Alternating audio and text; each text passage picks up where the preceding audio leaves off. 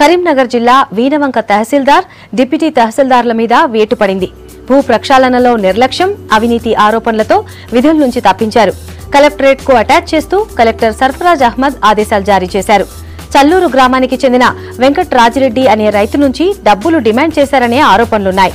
ఈ విషయం మంత్రి ఈటెల దృష్టికి వెళ్ళడంతో విచారణకి ఆదేశించారు. సోమవారం వీనవంక తహసీల్దార్ ఆఫీసులో ఇంటెలిజెన్స్ అధికారులు తనిఖీలు చేసి పలు రికార్డులని స్వాధీనం చేసుకున్నారు.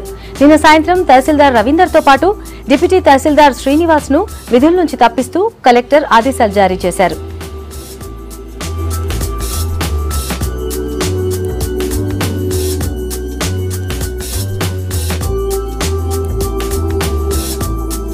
ముప్పై గుంటల భూమి ముప్పై ఎనిమిది గుంటల భూమి సర్వే నెంబర్ మూడు.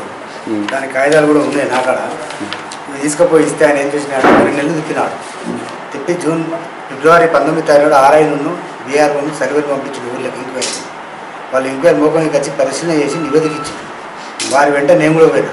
సార్ మళ్ళీ ఎప్పుడు రావాలని అడిగితే ఒక పది రోజులు రాడు ఇట్లా పది రోజులు పది రోజులు ఒక వన్ మంత్ తిప్పింది తిప్పినాక ఏమైంది సార్ అంటే ఒక యాభై రూపాయలు డిమాండ్ చేసింది నేను అంత డబ్బులు ఇచ్చుకోలేను సార్. ఫోన్ చేసిండు. తనే ఒక వీడియో తీసిండు. తనే వాట్సాప్లో పెట్టించుకున్నాడు. పెట్టించుకొని నన్ను పోలీస్ పోలీసులు పోయి పోలీసులు తీసుకుపోయారు. దినవంతా నన్ను పోలీస్ వచ్చారు మా ఊరి నుంచి ఒక ఇద్దరు నలుగురు పెద్ద మనుషులు పోయారు పాత సర్పంచ్ వాళ్ళు.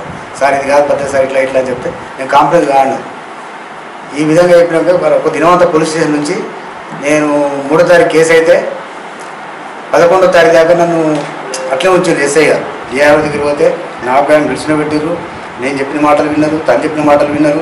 సెటిల్డ్ ఫ్యామిలీ ఎలా మేడం అన్నాడు. ఎవరికి? డిఆర్ఓ గారికి. నేను సెటిల్ ఫ్యామిలీకి తెలుసా? అమ్మ నేను తింటున్నా డబ్బులు. ఆ విషయం నాకేం తెలుసా అని ఏమన్నది ఇది నిజంగా స్వచ్ఛమైన మాట ఇది. స్వచ్ఛంగా ఆయన అన్నాడు డిఆర్ఓ గారు తిన్నారు అన్నాక ఇట్లా ఈ విధంగా చెప్పుడు మళ్ళీ తను కూడా వెల్ సెటిల్డ్ మంచివాడు. ఆ, రోజు అయితే మందగా వచ్చినట్టుందని నాకు అట్లోనే చేస్తాడు.